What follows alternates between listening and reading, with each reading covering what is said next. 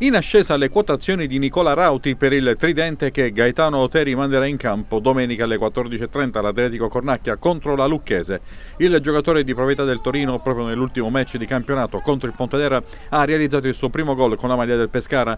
Rete di pregevole fattura, fatta con la determinazione di chi vuole incidere nonostante le difficoltà. Anche per questo che l'ex palermitano potrebbe soffiare la maglia a un Dursi sempre più indolente, dal grande talento, finora però inespresso. Al centro dell'attacco ci sarà Ferrari, mentre a destra Auteri avrà alcuni dubbi, Galano non è al 100%, Clemenza continua a convincere poco, talento cristallino ma poco propenso alla lotta quando si alza il tenore agonistico della partita. Da verificare Chiarella, che non ha certo i 90 minuti nelle gambe, ma che potrà essere utile dall'inizio o in corso d'opera. Auteri tornerà al suo modulo prediletto, il 3-4-3, con Pompetti e Memuscei favoriti per comporre la coppia di centrocampo.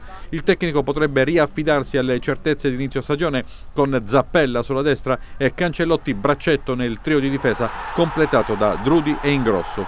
Sul fronte lucchese due sono gli interrogativi per il tecnico Guido Pagliuca per il suo 4-3-1-2, la sostituzione di Eclu a centrocampo per la quale sono in ballo il rientrante Frigerio, Picchi e l'ex aquilano Bensaia e la possibilità di impiegare il giocatore di maggior talento Semprini che ha appena recuperato da un infortunio ed è in ballottaggio con Nannini. Direzione di gara affidata a Bogdan Nicolae Sfira della sezione di Pordenone. Originario della Romania, non ha mai diretto il Pescara, mentre ha tre precedenti, tutti in trasferta con la Lucchese, con altrettanti pareggi, tutti per 1-1. Due in Serie C contro Pro Sesto e Piacenza, uno in Serie D col Ghivizzano.